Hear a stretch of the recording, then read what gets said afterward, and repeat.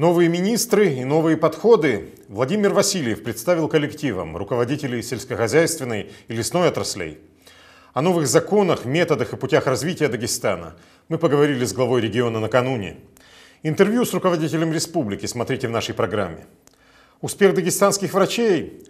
Уникальную операцию провели малышу еще до рождения. Курбан Байрам на подходе. Что нужно знать и как готовиться к празднику? Здравствуйте! Это итоги недели на канале ННТ. И я, Мурад Ахмедов.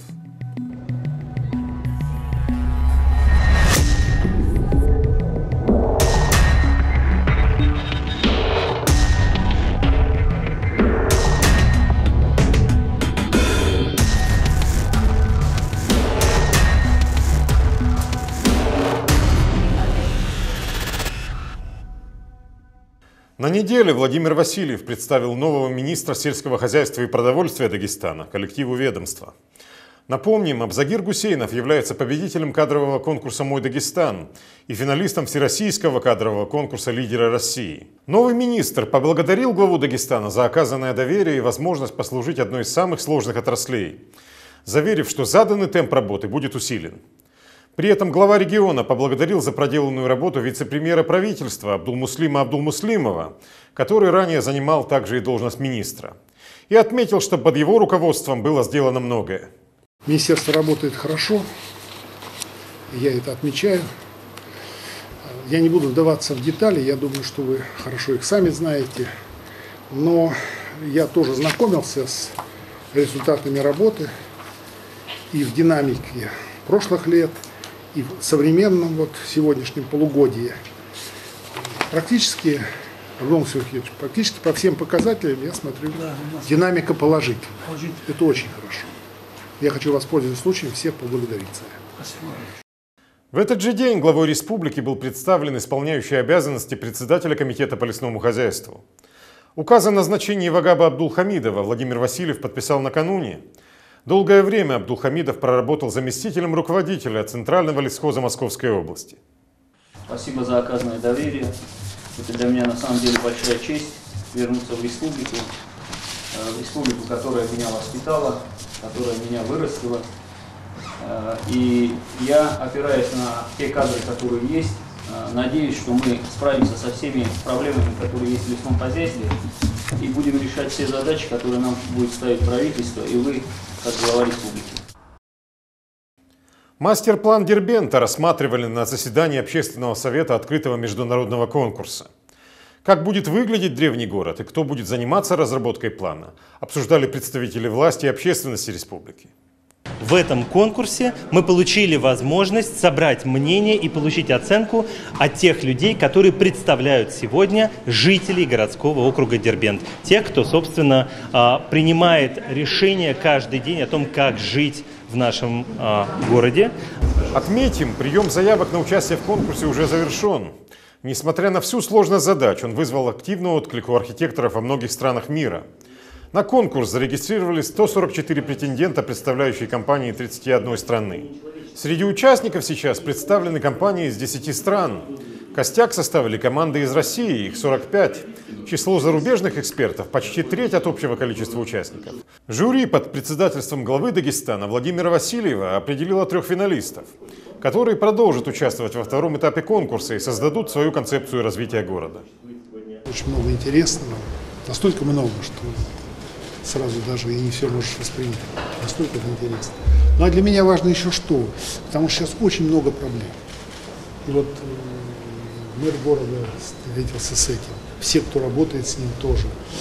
И они здесь, в Дербенте, особенно сложны в решении, потому что это колыбель цивилизации. Это объект охраны ЮНЕСКО. И здесь каждое движение должно быть оценено, взвешено, чтобы не разрушить, уж как минимум. Поэтому здесь очень все затратно. Если бы вот строить с листа, все было бы в разы проще, чисто. И это вот предстоит решать. Неделю назад республика отметила главный свой праздник – День Конституции, основного закона страны гор. О законности в реальной жизни и режиме наибольшего благоприятствования для тех, кто живет по закону. Накануне мы поговорили с руководителем республики Владимиром Васильевым. Глава Дагестана поделился своими мыслями по поводу высказанных идей, вызвавших широкое общественное обсуждение, и своим видением будущего Дагестана. Владимир Абдулевич, добрый день. Добрый. Одним из самых масштабных событий э, этого года стал Петербургский экономический форум. Вы там сделали такие знаковые заявления, сказали, что законы у нас, не все, конечно, но многие написаны для воров и коррупционеров. Э, вот что делается сейчас э, для того, чтобы эту ситуацию изменить, в частности, в законодательном плане? Ваше видение. Вот я знаю, что в Дагестане уже э, благодаря вам инициированы меры по поддержке виноградарей, принят на федеральном уровне закон. По поводу поддержки виноградарей спасибо большое нашим коллегам, депутатам, членам Совета Федерации. Это очень нужный закон, который меняет серьезно правила когда тот, кто производит качественную продукцию, получает преимущество. Его не просто проводили, и я убежден, что он будет работать. И будет эффективен, особенно для тех, кто работает, в первую очередь, виноградарей, виноделов, всех тех, кто связан с этим производством нашей республики. А их немало. Для нас это очень важно. Но я бы хотел сейчас ответить на ваш вопрос. Знаю, что мое заявление вызвало множество толков и оценок. Я говорил о следующем. Я просто, как, наверное, мало кто сегодня, кроме моих коллег, могу судить о том, в какое время, допустим, формировалось э, законодательное поле для возникновения, а потом уже применения статьи 210. Это статья, которая предполагает ответственность за создание преступного сообщества. Вдумайтесь в состав. Само создание преступного сообщества, участие в нем. Без этого мы бы не победили организованную преступность. И я был одним из тех, кто готовил это, статью, участвовал в ее подготовке, тогда работая в МВД. Это очень помогло. Кстати говоря, мы тогда брали аналоги в основном из-за рубежа, в том числе из Соединенных Штатов Америки, которые, как вы знаете, по истории прошли такой период борьбы с гангстеризмом, который, в общем-то, вполне сопоставим то, что мы имели в то время. Тогда мало кто сейчас вспоминает, только по фильмам видит, какие были разборки крупнейших городах Америки, между гангстерами и полицейскими. Все это было. И коррупция была запредельной. Все это было. Но они избавились от этого. И вот они теперь имеют то, что имеют. Нам это тоже предстояло.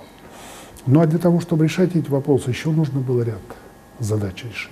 И тогда появилась вот так называемая простонародье сделка с правосудием. Я помню, как она не просто шла. Я тогда работал уже в Думе, Комитете по безопасности. Мой коллега, сам пришедший из бизнеса, активно этим занимался. Мы приглашали, и он в частности, значит, приглашали из-за рубежа сенаторов Соединенных Штатов Америки, специалистов, прокуроров, экспертов. Они рассказывали нам, как принимался этот закон. Ну, вот вдумайтесь на минуту. Преступное сообщество, в котором есть такое понятие амерта, молчание. И куда войти можно, а выйти нельзя. Могут только вынести. Поэтому там говорить против шефа, против босса, это смерти подобно. Но надо же получать показания. Потому что сами организаторы не совершают преступлений. Они организуют их. Это делают конкретные люди. И вот, э, вот это был такой граневый период. И тогда принимался этот закон. Я сейчас смотрю на это и вижу, что, допустим, когда за преступное сообщество привлекается к ответственности человек, который работал даже в какой-то там системе, в министерстве, в главке, в ведомости, который создал действительно напоминающую во всем юридически формально вот это вот преступное сообщество. Да, он его создал. Но я не считаю это правильным сегодня. Сегодня надо пересматривать эти вещи. И, допустим, та же сделка с правосудием. Ну, по-простонародному. Значит, если дается показание, но если это дается в отношении того, кто, рискуя своей жизнью, помогает следствию, прокуратуре, суду доказывать вину преступного сообщества, в котором ну, просто на крови построено, на смертях, это одно. А когда это какой-то крупный руководитель, используя свое служебное положение, всех своих подчиненных построил, и это тоже формулируется как преступное сообщество, я здесь вижу большую разницу. Это тема, которая требует осмысления и в обществе, и среди правоведов, и самое главное, наложения практики. Но я думаю, что время пришло. И я вот здесь, может быть, больше других чувствую и ответственность за это. Потому что это было хорошо в те годы. И сейчас я слышу, вижу, как бизнес начинает выходить, он хочет занять свое место. Кстати, вот у нас буквально недавно была встреча, на которой более 60 э, значит, управляющих бензоколонками, по сути, заявили о том, что они теперь платят налоги, перешли на безналичный расчет и заключили трудовые соглашения с теми, кто работает на них. За год это огромный результат. И мы теперь должны менять подход. И я рад, что меня поддерживают и понимают, мы это сделаем. Мы должны создать режим наибольшего благоприятства для тех, кто вышел из тени. И отделить их от тех, кто остается в тени. Вот по тем, да, проверки. А тем, кто вышел, кто сегодня э, материально, формально подтверждает это каждый раз, уплачивая налоги, заключая трудовые договора с работающими, имея достаточно высокую э, заработную плату и э, уплачивающие налоги, они должны быть в режиме наибольшего благоприятства. Если мы сейчас создаем это, я здесь это прекрасно понимаю как глава, то мы делаем мощнейшие условия для рывка в экономике. Некоторые автозаправочные сети почти в 10 раз увеличили платежи в бюджет. Вы это следите, говорит о потенциале. За это. Говорит. И причем, заметьте, это же ведь без, даже без устрашения и принуждения. Ну да, понятно, в целом тут, как говорится, работа ведется, и все понимают, что безнаказанно брать деньги из бюджета не получится, что налоги надо платить. Это так. Но мы видим по направлениям, люди готовы это делать. И мы должны оправдать ожидания этих людей, создать им условия. То есть человек, который честно делает свою работу, соблюдает закон, должен быть защищен от излишнего контроля. Главный результат – оплата налогов, безналичные расчеты, а это контролирует все. Ну и плюс проверки, которые показывают, что все, кто работает, работают по заключенным договорам. Вот мы сейчас это делаем, мы будем это делать. Пока нет закона такого. Нет. Но надо к этому идти. И тогда мы будем менять ситуацию в обществе. То, чего люди-то и ждут. В одном из интервью вы э, назвали э, страшные цифры. Э, неправомерно полученный доход только в медицинской сфере составил 9 миллиардов благодаря картельным сговорам. В дорожной отрасли 18 миллиардов. Только на одном на одном завышении цены моста удалось экономить 500 миллионов. Куда пойдут эти деньги, которые изъяты из незаконного оборота? Удается их уже пустить на да, развитие? Вот, у меня сейчас на стене висит э, карта Дагестана, на которую я попросил, и вот здесь это отражено, миллиард семьсот – это водопроводы. В этом году миллиард семьсот пойдут на водопроводы. Мы сейчас будем приглашать общественные палаты, я, пользуясь случаем, хочу их поблагодарить за это. У нас есть огромнейшая возможность использовать общественный контроль. У нас есть множество общественных организаций, у нас очень много активных людей, которые готовы принять в этом участие. И мы на них очень рассчитываем. Почему? Потому что вот там эти водопроводы, это же не просто водопроводы, это водопроводы, которые когда-то начаты и брошены, перестали финансировать. Мы сейчас выделили огромнейшую сумму, миллиард семьсот на них. Плюс там еще есть по э, финансированию по значит, линии «Чистая вода» тоже дополнительно, по линии Минсельхоза – это тоже большие деньги. Но главное вот эти наши бюджетные. И, конечно, мы сейчас заинтересованы, чтобы все эти деньги э, закончились тем, чтобы осенью э, люди получили воду в больших количествах и качественно. О каком количестве людей идет речь? Около 500 тысяч людей должны почувствовать улучшение. Но у нас большая тревога. Почему? Потому что когда мы вот эти деньги в каком-то смысле выковыривали на уровне нашем, вот здесь, республиканском, так, чтобы их никто не использовал не по назначению, не функционально, то мы сумели их сэкономить. Вот эти деньги пришли сейчас в наши районы. Но для нас сейчас очень сложная задача проследить, чтобы эти деньги дошли и превратились в водопроводы, и в виде воды пришли к нашим 500 тысячам жителей. Это проверка и нас тоже на эффективность.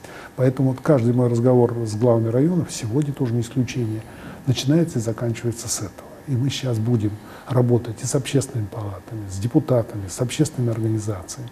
Будем вывешивать на местах прям вот такие указатели, что вот ведется водопровод от такого населенного пункта туда, и он позволит сделать то. А контроль осуществляет кто? Общественная палата, номер телефона, депутат, значит, подрядчик, который ведет эти работы, чтобы у нас была связь. Вот та самая связь, когда люди начинают контролировать как работает власть и как работают те, кто должны реализовывать вот эти проекты, сформированные властью. Мне кажется, это очень важно, потому что тогда у нас появляется вот это состояние, которое мне нравится очень это высказывание древнее, что народ — это единение множества людей. И когда мы объединяемся с тем, чтобы у нас была чистая вода в достаточном количестве, это нас объединяет. И мы можем в этом процессе опираться на тех, кто этого хочет. Это общественно полезная цель. И здесь общество может себя найти. Ну и также по другим направлениям. У нас, допустим, дороги. Более 700 миллионов мы выделили, практически весь транспортный налог мы отдали в районы. Теперь очень важно, чтобы эти дороги были в реальности, и качественные в реальности. И кто их лучше проконтролирует? Сами же жители, которым эти дороги сделают более комфортной жизнь. Ну и вот так по другим направлениям тоже, соответственно. Дефицит кадров – одна из главных проблем в Дагестане. В связи с этим вам а, пришлось пригласить очень многих специалистов э, извне, но многие видят в этом не только укрепление кадрового потенциала и определенное недоверие к дагестанцам.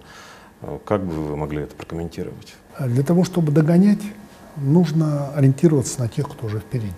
Ну так в спорте, дагестанцы спортсмены, все хорошо меня, я думаю, поймут. И когда мне поставили задачу ну, способствовать улучшению ситуации в нашей республике, создавать условия для этого, я хорошо понимал, что зачищая коррумпированное руководство, это было необходимо сделать, теперь уже ясно становится это. И вот эти суммы, о которых вы говорите, без этого ничего не получилось, к сожалению, это пришлось применить. Но нужны были другие люди, которые будут реализовывать ровно вот эти проекты. И для того, чтобы они пришли, пришлось тут серьезно поработать. И я очень признателен администрации президента, которая помогла и, по сути, провела, организовала проект «Мой Дагестан», который на входе сумел рассмотреть 6 тысяч обращений, и не только наших жителей России, из всех регионов, но и иностранцев тоже. Я помню, было несколько человек, обращались, проявили интерес. Настолько он был интересен. Это практически был реальный лифт, о котором так давно говорим, когда талантливый, амбициозный человек, и не обязательно молодой, женщина, мужчина, никакой разницы, исходя из своего профессионализма, исходя из своих знаний, из своих амбиций, участвует в конкурсе и побеждает, или проигрывает на равных условиях. 54 человека прошли из 6 тысяч. Сколько трудоустроено день 26 трудоустроены. Вот вчера буквально двум пожал руку, один стал министром, другой исполняет обязанности. Но какие-то люди. Я вот смотрю сейчас в интернете, они говорят, они вызывают уважение. Это люди, вот крайний, кому я пожал руку, он работал, дагестанец, кстати, 20 лет, работал в Московской области. Возглавлял лесное хозяйство. Это огромная область, там огромные леса, территория огромная. Боролся с пожарами буквально недавно. Хорошо характеризуется. Он участвовал в двух конкурсах. В одном не победил, а в этом прошел и победил. И он ждал, ждал того, чему хотел послужить. И когда появилась вакансия, он приехал и включился в работу. Спасибо, конечно, таким людям. Я надеюсь, что он чувствует эту ответственность и будет привносить ну, самые современные технологии, которые он освоил там, работая в Московской области. Также у нас э, целый ряд руководителей, вот сказали, 500 миллионов, да, 500 миллионов с одного моста. Шавхан Маханович, он работал у нас здесь, министр транспорта. Потом вынужден был идти в федеральное министерство транспорта. Откликнулся на приглашение, пришел, пересмотрел все эти торги, включил другие нормативные оценочные цифры и показатели, стал использовать многоразовое применение проекта. В результате мы получили большую экономию. И так по другим направлениям тоже. О привлечении инвестиций в республику говорили годами, э, но они так и не приходили в том объеме, в котором их ожидали. Сейчас созданы территории опережающего социально-экономического развития. Э, что удается сделать в этом плане сейчас? Какие подающие надежды проекты? Те инвестиции, о которых мы с вами говорим, частные инвестиции, они пока и не пришли. Пока не пришли. Но что-то уже есть. Вот э, был у нас недавно совет инвестиционный наш. На нем мы поддержали проект, вы, наверное, знаете об этом. Мы открыто работаем. Значит, там более 70 гектар на территории Дербенского района. Наш земляк, кстати, это принцип работы, и вся наша команда управленцев сегодняшняя его придерживается. У нас э, приоритет такой подчеркнутый к дагестанцам, если даже они и работают в России и в других регионах. Но это дагестанцы. Ну и, в общем, этот проект мы поддержали, мы его поддержим во всех отношениях, и дальше он себя реализует. 200 рабочих мест постоянных, около этого сезонных. Это будет круглосуточное, мощное тепличное производство, круглогодичное. Но что самое важное, значит, сам инвестор, он вкладывает туда значительные средства, и э, он сегодня работает с ритейлом практически всеми крупными э, представителями Московской области, Центральной России. И мы уверены, что сбыт будет обеспечен. Кстати, он один из первых, кто поставляет соленье, вот такую продукцию. И плюс еще он намерен не только сам выращивать и продавать, но и скупать у сельхозпроизводителей Дагестана а, те излишки, которые имеются, обеспечивать их хранение, переработку того, что не сможет сохранить, и реализацию, соответственно, в Центральной России. Так что это поможет не только ему, это еще и даст эффект нашим, в том числе и семейным, и личным хозяйствам, которые иногда не могут реализовать свою продукцию, поскольку не хватает логистических, транспортных возможностей. То есть это создание бренда, в том числе сделано в Дагестане в рамках реализации этого проекта? Ну, по поводу бренда у нас э, уже кое-что есть. Есть дагестанская баранина, неограниченный рынок. Мы недавно обсуждали, новый министр видит эти задачи. Скоро у нас будет министр сельского хозяйства Патрушев здесь рассматривать эти вопросы. Мы их пока так в общем доложили в Москве, потом он направил сюда специалистов, они глубоко изучили. Мы хотим сейчас целый ряд таких конкретных проектов, они не столь масштабные, но они очень эффективны. Они эффективны по точному приложению. Знаете, как вот точный удар. Вот здесь тоже. Ну, допустим, там у нас есть возможность 400 метров нужно сделать в одной канал истерика. И тогда наши чеки кизлярские, рисовые, а рис кизлярский пользуется спросом, знают об этом не только дагестанцы уже, они могут давать от 10 до 16 центнеров больше риса.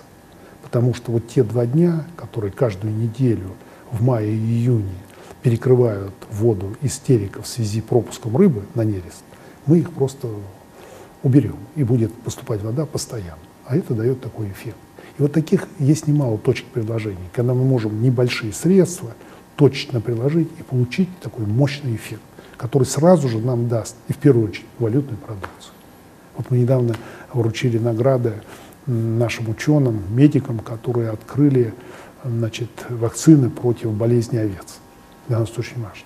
Потому что сегодня наши овцы – это один из, ну, из значительных валютных поступлений. И чем больше мы будем реализовывать товарного мяса, баранин, тем больше будет валюта поступать. Будут богаче селяне, будет богаче Дагестан. Спасибо. Спасибо за беседу. Успехов вам. Взаимно. Объем налоговых сборов в Дагестане увеличился за полгода на 2,5 миллиарда рублей. Так, в первом полугодии текущего года налоговыми органами республики в бюджетную систему мобилизовано более 30 миллиардов. Поступления в бюджет Дагестана составили 15 миллиардов рублей. Из них бюджеты муниципальных районов и городских округов 4 миллиарда рублей. Дагестанским почтальонам повысят зарплату. Об этом сообщил директор республиканского филиала Почты России Махач Магомедов. По его словам, зарплата увеличится более чем у двух с половиной тысяч работников. В их числе почтальоны, операторы, начальники почтовых отделений и их заместители. Повышение планируется в среднем на 20%. Напомним, программа по повышению заработных плат предполагает поэтапную реализацию. Первый этап стартовал в мае текущего года в 17 регионах страны. Республика Дагестан включена во второй этап, который стартует в ноябре. Иностранные туристы стали чаще приезжать в Дагестан. Один из дербенских хостелов с начала летнего сезона принял гостей из десятка стран мира. Турист из Нидерландов Йост Смец приехал в Дербент вместе со своей семьей, женой Евой и двумя детьми. Он рассказал, что главная цель его путешествия – изучение истории разных стран и знакомство с людьми. В древнем городе он смог увидеть много исторических мест и хороших доброжелательных людей. Очень красивый город. И в, в пляж мы были тоже. В пляж. Э... Вам тоже понравилось? Да, очень. Да, я, э, мне, понрав... мне нравятся э, люди, и горы, и Голландские туристы также успели побывать в Гунипском районе и в заброшенном ауле Гамсуталь. Сейчас Йос с семьей держит путь на песчаный бархан Сарыкум и в Сулакский каньон. Отметим, в прошлом году только в Дербенте побывало почти 90 тысяч туристов. И к другим темам. Врачи перинатального центра провели уникальную операцию по переливанию донорской крови ребенку еще до рождения. Здоровая мама вместе с малышом отправились домой уже на следующий день.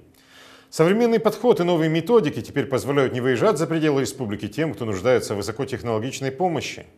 Луиза Раджабова поговорила с врачами и узнала, в чем состоит уникальность операции. Теперь это слезы радости о том, что маленькая Ася может и не выжить. Жительница Хунзахского района Аминат узнала сразу. Она уже сталкивалась с проблемой резус-конфликтной беременности. Еще в утробе на 26-й неделе у девочки выявили гемолитическую болезнь. Итог патологии – гибель плода. Чтобы спасти жизнь, нужно было срочное вмешательство врачей. Э, сказали то, что надо делать. Пришлось нам четыре раза даже это переливание сделать внутриутробное. Хочу поблагодарить э, Эльвиру Марпашаевну. Она нам сделала это переливание, помогла нам. Но в данный момент чувствуем себя очень хорошо. Быть первой всегда нелегко. Благодаря молодому врачу Эльвире впервые в республике проведена операция по внутриутробному переливанию крови. Теперь у перинатального центра еще больше возможностей. Приезжали пациенты, которые, которым нужно оказать эту помощь, и которые не имели материальной возможности какой-то проблемы с семьи, да, и не могли поехать за пределы Дагестана. И получалось так, что э, ребенок, которого можно спасти, такие дети погибали, у них не было шанса вообще. Э, и учитывая эту ситуацию, решила попробовать э, начать делать эти операции у нас. Э, начальство меня тоже поддержало в этом плане. Уникальная для республики методика работает безотказно. Сейчас ребенок чувствует себя прекрасно. Дома сестру ждут два брата. Если у женщины резус отрицательная кровь, а ребенок наследует резус положительный э, от отца, очень часто э, в организме у женщины образуются антитела к собственному ребенку, которые могут приводить к отторжению этого ребеночка. Значит, э, обычно э, у ребенка развивается гемолитическая болезнь плода за счет разрушения собственных эритроцитов. И э, спасением в таких случаях остается уникальная процедура внутриутробного переливания крови плоду. Чем раньше мать обратится за помощью, тем больше шансов на спасение и рождение здорового ребенка. Республиканский перинатальный центр и дальше намерен внедрять новые технологии и методики в своей работе. Луиза Раджабова, Нурмагомед Магомедов, Новости ННТ, Махачкала. Махачкалинцы смогут сдавать бумагу и пластик за деньги. Об этом сообщает Минприроды республики. В столице будут установлены экопункты, куда горожане будут сдавать пластик, жестяные банки, стекло, бумагу и при этом получать деньги. Проект будет реализован до конца августа. Подобное разделение мусора позволит подвергать некоторые отходы переработке, что предупредит загрязнение окружающей среды и мотивирует население следить за чистотой в городе. Дагестанские школьники вернулись с победой из Москвы. Там завершилась Всероссийская Олимпиада по конному спорту. Она проводится среди детей с особенностями интеллектуального развития. Воспитанники школы «Джигит» Арсен Гасанов и Амир Магомедов привезли в республику четыре медали. Одну золотую, одну серебряную и две бронзовые. О том, как юные наездники достигли успеха и какую роль сыграл в их жизни конный спорт, в сюжете Патимат Ханаповой. Подними на рысь, Амир. Эти юные всадники ничем не отличаются от своих коллег, как профессиональные спортсмены, а порой и старательнее. Они упорно выполняют все упражнения и находят нужный контакт с лошадьми. Подтверждение тому – победа на соревнованиях. Два года еду, и я и был уже привык. Амир один из призеров Олимпиады. Чтобы добиться таких результатов, он каждый день приезжал на тренировки с мамой из Буйнакска. Родные его признаются. Тогда и подумать не могли, что Амир будет участвовать в соревнованиях. И вот теперь уже упорно готовится выступать на следующих. У мальчика были проблемы, ну, сколиоз был, плоскостопие и задержка развития. Мы стали ходить у нас ушел сколиоз, мы вылечили сколиоз, он у меня стал ходить уверенно. И улучшились проблемы с речью. Мы теперь научились читать уверенно и писать. Появился интерес. ко всему. Лошади для этих детей не просто развлечение. Они выполняют функцию врачей. Лечат ребят от таких болезней, как ДЦП, сколиоз и аутизм. Школа Джигит – единственная в республике, где профессионально занимаются ипотерапией и при этом бесплатно. Таких э, школ очень мало. И мне очень приятно, что благодаря нашей работе, нашей, нашему труду э, стало такое возможным. На сегодняшний день, за 2019 год, около 100 детей получат э, курс реабилитации бесплатно. О лечебных свойствах ипотерапии писал еще Гиппократ. Сейчас медики подтверждают, контакт с лошадьми способствует выздоровлению больного. Ведь верховая езда дает нагрузку почти на все мышцы тела, развивают координацию и улучшают психологическое состояние. Особое внимание нужно уделить снаряжению, поскольку от ее правильности и надежности зависит здоровье и жизнь человека и самой лошади. Поэтому любой всадник должен уметь правильно оседлать лошадь. Ну что же, лошадь готова, давайте попробуем сесть верхом. В самом начале нужно а, закинуть назад повод через голову лошади. А, садиться нужно обязательно через левую сторону. Закидываем ногу правую сюда. И, в общем, все.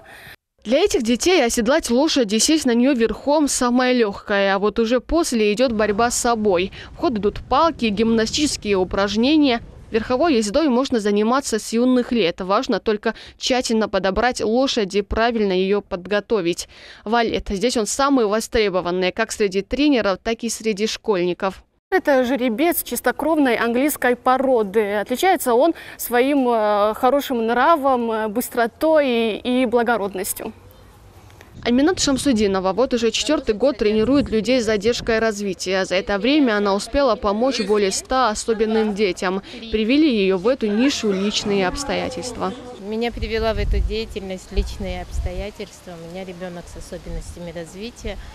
И когда мы искали пути реабилитации и помощи, мы э, попали в Москву, в реабилитационный центр, где моя дочь тоже также получала э, ипотерапию. Я видела результат, я видела реакцию ребенка, я видела, как это ей помогло, и пришла идея того, что это должно быть здесь, у нас, стране год, где есть все возможности. Конно-спортивная школа «Джигит» в прошлом году была переведена на баланс государства. Это позволило бесплатно проводить сеансы для особенных детей. Так, в этом году квоту на курсы по ипотерапии получили около 100 желающих. Патимат Ханапова, Муса Салгиреев, новости ННТ, Махачкала. История всего человечества на одном клочке земли. Так можно описать археологические находки в Акушинском районе. Там в ходе исследований ученые обнаружили следы людей из каменного века. Самым древним находкам, к слову, более двух миллионов лет. Что конкретно нашли исследователи в горах Дагестана, узнавали наши коллеги, побывавшие на месте событий. Древнейшая стоянка человечества, объект Мухкай-1. Находимся мы в Акушинском районе. Ученые уже раскопали первый слой земли и установили, что этому орудию труда, которым разрезали, например, кожу древних животных, а, уже 900 тысяч лет. Бесспорно, древнейший не только на территории Северного Кавказа, но и Евразии. Памятники относятся к каменному веку. Таких археологических объектов, как Мухкай-1 и Мухкай-2 в мире несколько. В толщах 34 слоев земли здесь обнаружены первые орудия труда. Возраст находок более двух миллионов лет. Мы раскапываем стоянки первобытных людей, обитавших здесь Э, от 2 миллионов лет назад до 800 тысяч лет тому назад. Памятники, которые мы исследуем, это самые древние вообще э, в Евразии. Здесь мы обнаруживаем и остатки культуры человека, и остатки э, животного мира. Мы реконструируем растительный мир, то есть какие здесь росли деревья, какой был ландшафт, какие обитали Э, животные, на которых охотились или не охотились, а добывали каким-то образом. Впервые камни тогда еще неизвестного происхождения были обнаружены при установке телефонной вышки. Они сразу привлекли внимание специалистов. Уже не первый год экспедиция из Москвы помогает рассмотреть деятельность древних людей под руководством Хизри Амирханова. Вот это место э, мы раскапываем, в частности, нам удалось здесь э, раскопать в частности стоянка, которая приурочена к древнему палеоруслу какой-то реки. Вот, собственно, мы сейчас э, находимся, можно сказать, на дне уже раскопанного этого русла. Вот. И к этому руслу э, примыкали, вот если посмотрите, вот эти вот участки суглинка, ну, глины. Вот. И человек, видимо, когда функционировала вот эта река, он приходил к ней, э, на берегу вот здесь вот существовал. Ну, жил, не жил, мы не знаем, но какая-то деятельность его здесь э, проходила. Впервые мы на наших памятниках зафиксировали э, древнее русло реки, э, которому э, около 900 тысяч лет назад, э, и фиксируем деятельность на берегах этой реки, человеческую деятельность э, в виде обработки э, камня, изготовления орудий труда. Э, то есть это мы фиксируем реальный э, уровень обитания э, человека, на берегу небольшого ручья. Недостаточно просто раскопать, важно зафиксировать все сведения. В этом сезоне многолетнюю работу продолжает и Дарья Стулова. Ее зарисовки помогут для последующих поколений исследователей. Здесь э, выбрано русло древней реки, и по руслу оставлена бровка для того, чтобы понять, а, а, как, собственно, располагались свои. Вот. А, то есть вот здесь вот, например, мы можем видеть протоку с большими камнями, какие-то линзы. Если выбрать это полностью все, будет не видно стратиграфии и четкой картины. Несколько сотен камней, найденные на месте раскопок, имеют сколы, характерные для орудий труда. Готовые орудия в виде режущих, дробящих инструментов изготавливали предпочтительно из кремния. Он легко раскалывается и поддается нужной форме. Здесь мы видим, как тщательно готовилось это орудие. В частности, вот эта часть является лезвием этого орудия. А, вот эта часть, ну, так называемая пятка, и вот это также части, которые приспосабливались для держания этого орудия. То есть брался, бралось это орудие в руку, допустим, вот так вот, и вот этим вот э, краем размалывались, э, могли и кости, там орехи, в принципе, и так далее. Каждый сезон археологи обязательно находят что-то интересное. Работы пока много, а это значит, новые открытия еще ждут своего часа. Луиза Раджабова, Магомед Магомедов, новости ННТ, Акушинский район. Праздник Курбан-Байрам уже через неделю.